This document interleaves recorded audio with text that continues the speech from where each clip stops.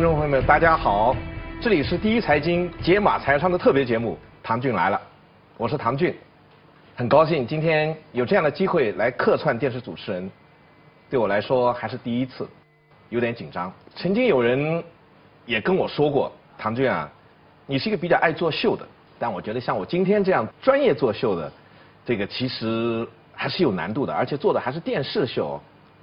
这个电视秀，我觉得难度最大的是什么呢？外表。你们也知道，一看我这个外表还是有硬伤的，有硬伤的男人其实很痛苦。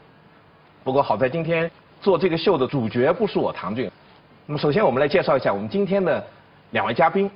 那第一位嘉宾是我们的美女主持人杨梦潇，梦潇。唐老师您好。那么第二位嘉宾是我们的年轻创业者杨华。唐老师您好。其实我也不是第一次来了，我一向认为自己的。定力还是可以的，但是我觉得在唐老师面前的话，我觉得还是有一些小小的不平静。我觉得，因为我觉得唐老师在我看来的话，一直是我非常想接近和学习的一位长者。我觉得是这样。首先，我们还是来看一下这个我们叫今日财经、今日社会。北京时间二零一二年九月十三日清晨，美国苹果公司在旧金山举行新品发布会，正式发布其新一代产品 iPhone 五。新产品屏幕更大，同时也变得更轻薄。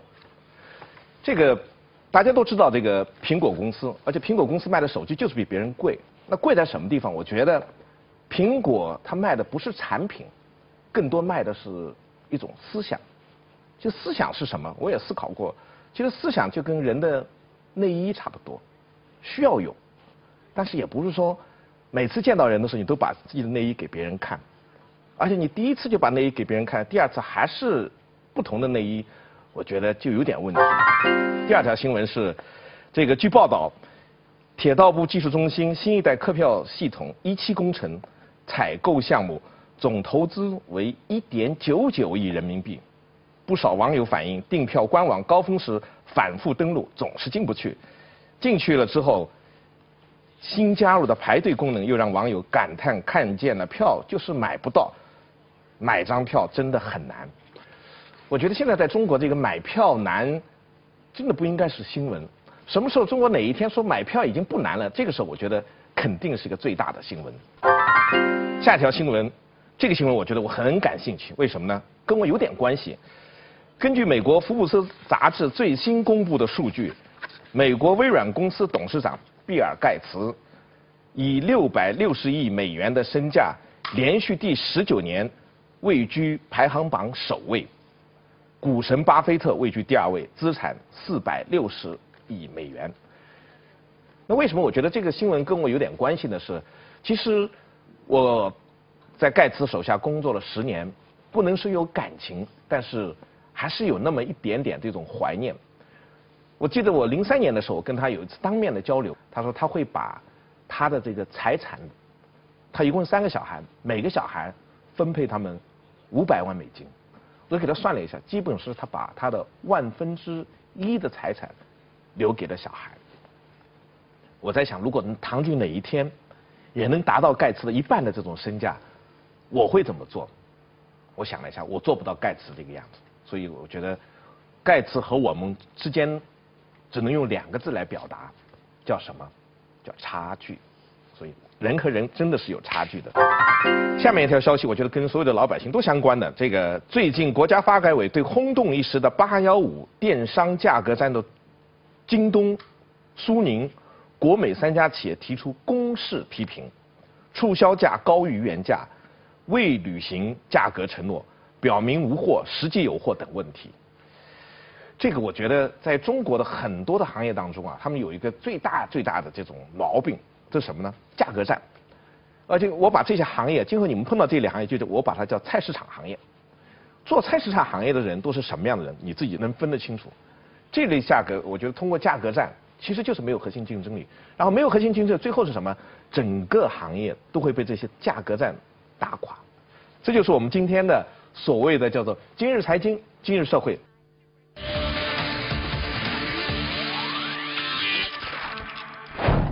小白领如何翻身做经理？你要与众不同。除了智慧加勤奋，你还缺少什么？别人不做的，你去做。别人没有想到的，你去想。唐骏来了系列第一弹，金领是怎么混出来的？正在播出。今天我们主要讨论的话题是什么呢？金领。为什么要讨论金领？因为我觉得很多电视机前的观众，你们可能不一定去创业。那么不创业的另外一个途径，让你变得更加的成功的一种方式是什么？我觉得怎么样去把自己培养成为精领，这才是更重要的。在中国职场，人们已习惯了用领子的颜色来诠释职业，来划分不同的人群。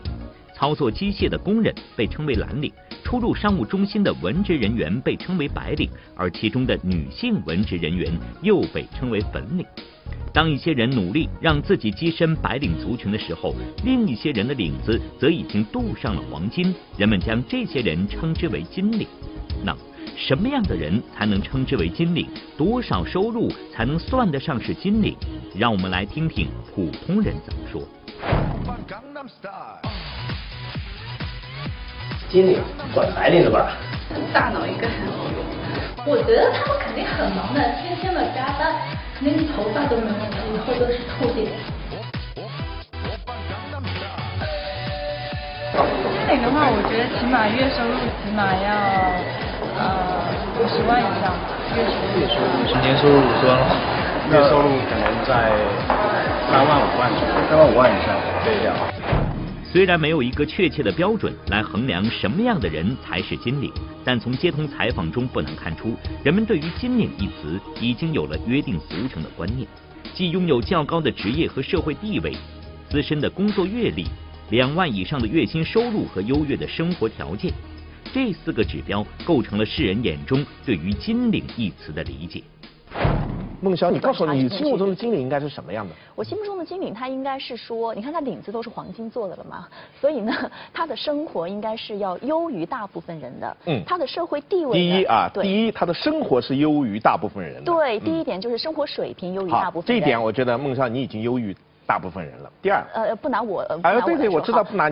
第二点呢，我觉得，呃，他们的社会地位应该是相对来说不错的。社会地位，对啊，社会地位也是金领的一个非常重要的一个标准。对对。我觉得你的社会地位，每个人都很羡慕的，都很尊敬的，很好。嗯。第三个呢，我觉得他们是某一行业中的佼佼者，就是说他们已经做到某个地位，某个就是说可能是已经进入管理层了，应该是。行业的佼佼者也是我们金领的一个非常重要的一个标志。孟潇，前三个你都进入了。还有吗？第四个呢，他们应该收入很好。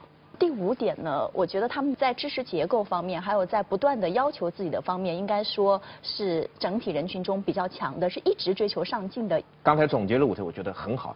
大家也看到了，其实每个人心目当中有自己的精灵，但是我觉得有一个很重要的特点，就我觉得现在的很多的中国的老百姓，就是说把对精灵其实还是看低的。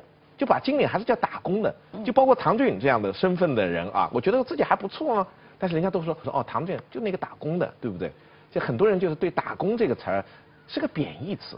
嗯。但是在我们再看西方国家啊，这些所谓的，我觉得他们是精灵，也就是我们中国人所谓的精灵，他们的这种社会地位也好，还是说他的这种收入也好，其实拿出来，我觉得真的是你会让你看了这种发呆。发金怎么可能拿这么多？一个打工的人怎么可以拿这么多？来，我们来看一下这个大屏幕上面，看一下就是所谓的美国的顶级的这些金领们。那这个美国的顶级经理，我们看到了这个排名第一的，又是跟我有关的。所以今天这个话题，我觉得跟我特别有关系。第一名是什么？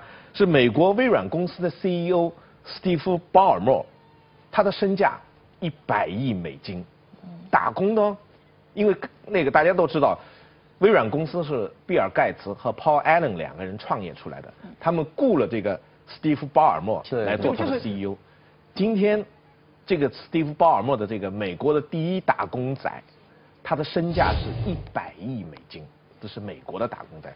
同样，你也看到什么？这个艾瑞克·史密斯就是谷歌的这个 CEO，身价是六十九亿美金。还有其他的像。苹果的这库克啊，五十六亿美元等等等等，这一切，这就是所谓的叫做美国的最顶级的最顶级的心领。经理收入高嘛，这点是没错。你看他们虽然并不是自己当老板，并不是自己创业，却社会地位也高，也可以拿到这么高的收入，我觉得是一个很好的一个可以所以我现在这到哪我都跟别人说，我说你们不要小看我们这些打工的啊，虽然你们把我叫做唐骏是个打工的或者怎么怎么样，我觉得打工第一这个。我自己的心态很好，我觉得我不是在为别人打工，我是在为我自己打工。第一，第二，我觉得你也千万不要小看我们这些打工的。你看看我们打工的领头的人，斯蒂夫·鲍尔默，对，这个人他的收入多少？一百亿身价啊，是一百亿美金。这种我也想去跟他打工。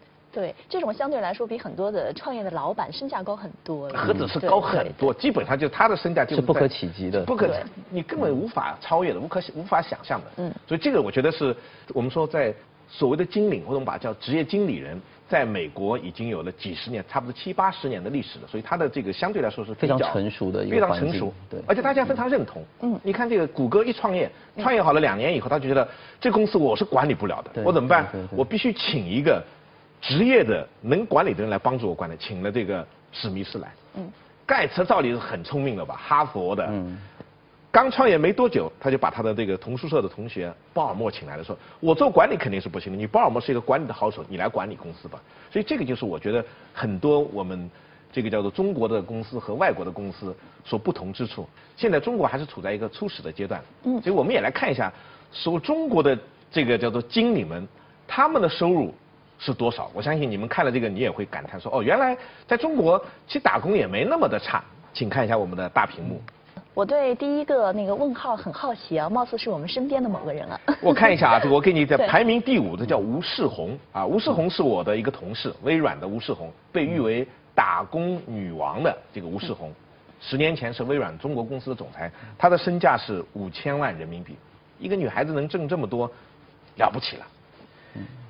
第四名是马明哲，平安保险的二点八亿，魏哲三点二亿，杨元庆也是我的好朋友啊，这个联想的杨元庆是三点九亿，还有一个叫做打工皇帝的，他的身价是十亿，这个人的名字我们先不用说，低调一点，这个跟本次的话题没有那么的相相关性啊。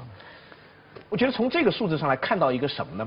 看到一个就是，其实在中国都把这些经理们叫做打工的。我觉得有点小看我们，你看看，这个这些身价，我觉得也不菲啊。就今天，我觉得我想跟大家一起来分享的就是，他们是怎么成为金领的。我们做了一个小小这个统计，这个统计呢，就是说这些金领们他们是怎么成为金领的。我看到一个因素啊，这个我们再来看一下这个大屏幕，这个大屏幕看得非常的清楚。这有个叫唐骏的这个人，在微软，他的第一份工作在微软一做就是做了十年。这个吴世红，他的第一份工作是在 IBM 公司做的，做了十二年。杨元庆在联想的第是他的第一份工作，他做了二十三年。我的在微软的老板斯蒂夫·鲍尔默，他在微软的第一份工作做了二十五年。这个就给了我一点点启示是什么？你要想成为精灵，你不在一个公司里边泡下去、混下去，我觉得你很难很难成为精灵的。这叫什么？用心通俗一点的话，就现在最流行的话叫 hold 得住。就你你的第一份工作，你能不能 hold 得住？所谓的 hold 得住，就是你要做时间足够的长，就至少要做个五年十年吧，才有可能成为经理。那很多人也有人说说，这个唐军啊，其实我这份工作也做了蛮久的了。这个算算我年纪一大把了，在这工作也做了十五年了，我怎么还是就是没有达到你刚才说的这种经理的这种境界或者是地位？其实我觉得做长是第一条件啊。当然，就是只是做长，我觉得还不够，还要什么呢？我觉得，在我看来啊，因为我经历过那么多的这个职场，我也看到过那么多的人从普通的这个白领变成了经理，或者是变成了这种超级经理。我觉得他们都有一点点叫做什么？我把它叫做与众不同。对不？就是什么叫与众不同？就是别人不做的，你去做；别人没有想到的，你去想；别人不敢想的，你也要去想，你也要去做。这个在我看来啊，就是所谓的叫做与众不同。纵观那些叱咤商场、为自己的统帅打下一片片江山的黄金战将们，他们的身上都不约而同的具有一些与众不同的特质。微软的首席执行官史蒂夫·鲍尔默最与众不同的特点就是容易激动。在激动的时候，鲍尔默习惯于把任何事情都强调三遍。在一次演讲时，他难以抑制自己激动澎湃的情绪，向台下的人连续问了六遍：“你们明白？”涨红的脸和凸起的青筋，使他获封“演说狂人”的称号。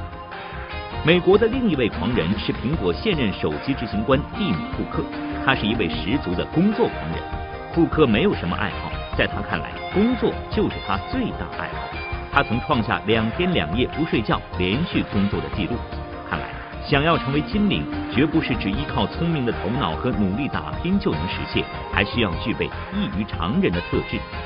曾从公司前台做到 IBM 中国渠道总经理的吴世红，就曾将她作为一个女人的与众不同发挥到极致。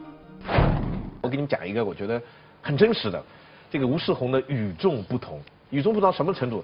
我经历过他的一场述职报告，这个当年的业绩不好，原因我们不提了啊。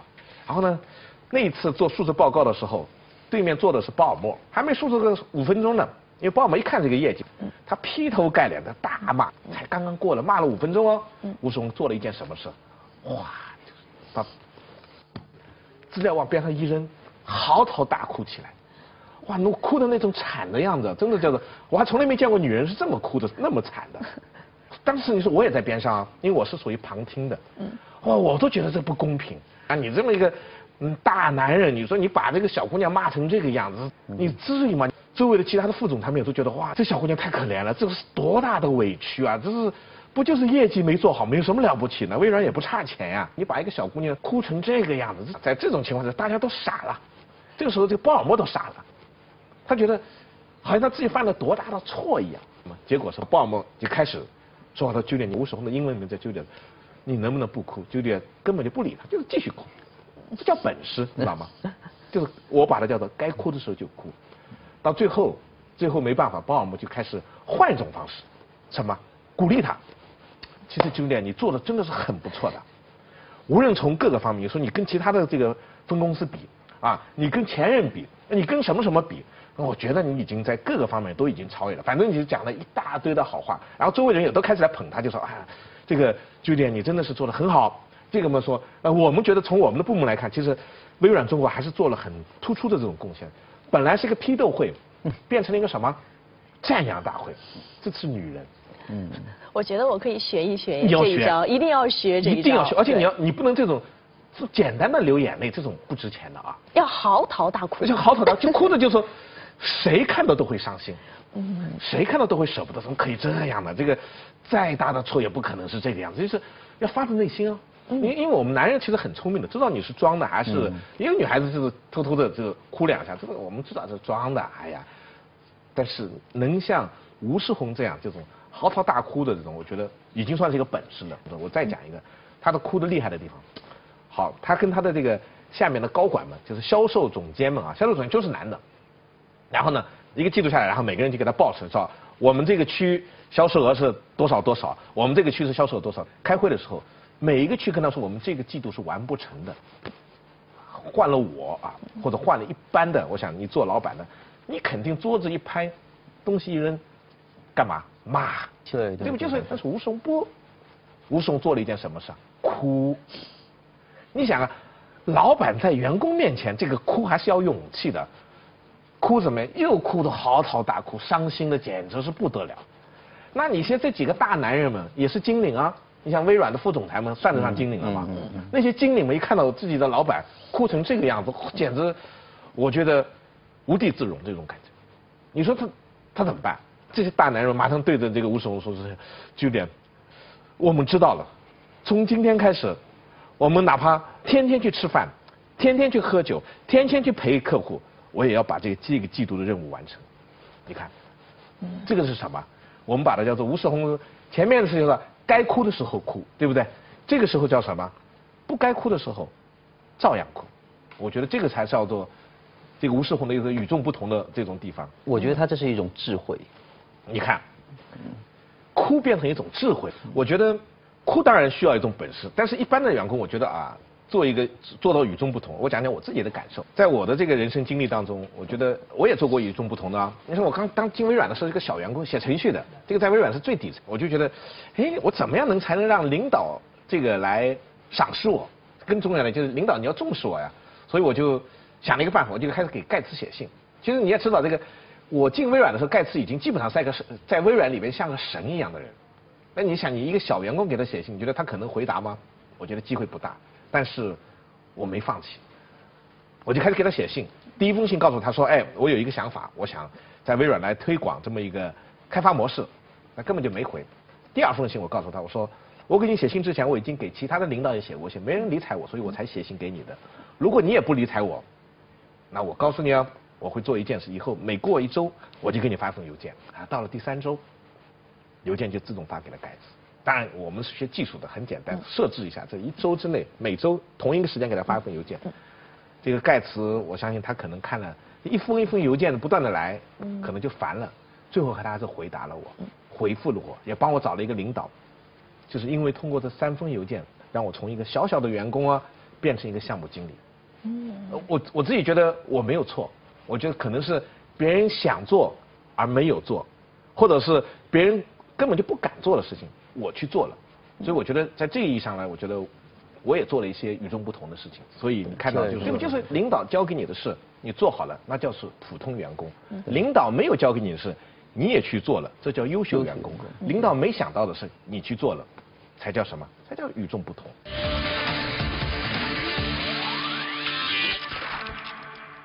小白领如何翻身做经理？你要与众不同。除了智慧加勤奋，你还缺少什么？别人不做的，你去做。别人没有想到的，你去想。唐骏来了系列第一弹，金领是怎么混出来的？正在播出。